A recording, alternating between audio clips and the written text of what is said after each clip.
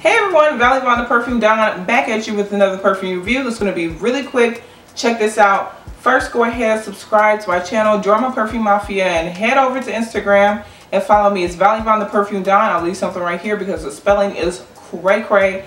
So let's go ahead and review a scent that I'm currently obsessed with, Tocca Florence. I think I'm going to buy the entire bottle and the hair mist. They have like a gift package. I'm sure they're going to have some more coming up for the holiday season. And I just really love this scent. It works really well with my body chemistry.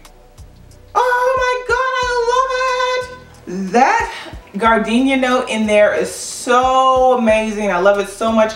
It opens up with this fresh apple. Love that scent. Oh, it has apple and pear, so very bright, youthful, and citrus when it opens. A little bit sweet, but so fresh and inviting. Mmm, smells like the Laffy Taffy, the um, the green apple one if they have one of those, or maybe a Jolly Rancher. Then it goes straight into it, a pure gardenia scent. I believe it has some tuberose as well, but that gardenia really stands out. For the base notes, it has the white woods and it has musk. That's what it dries down to, a lot of musk, but oh my god, the florals just radiate throughout this fragrance, and I think this is such a beautiful everyday scent. It's just really magical and whimsical, and it just makes you feel like a Disney princess. I love that!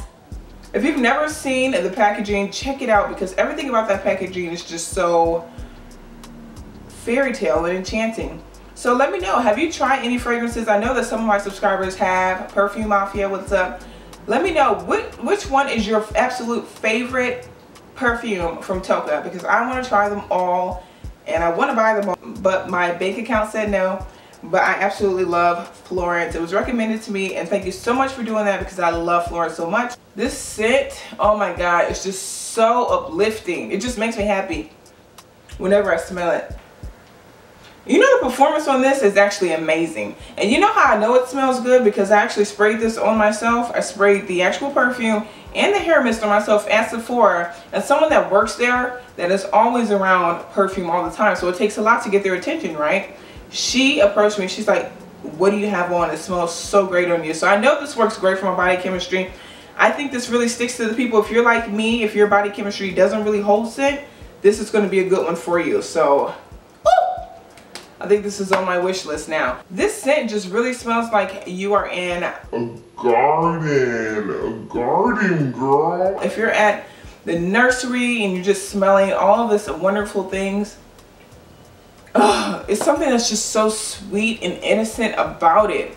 And just like an innocent darling. That's what it just reminds me of. I love this scent. Have you smelled it? Let me know.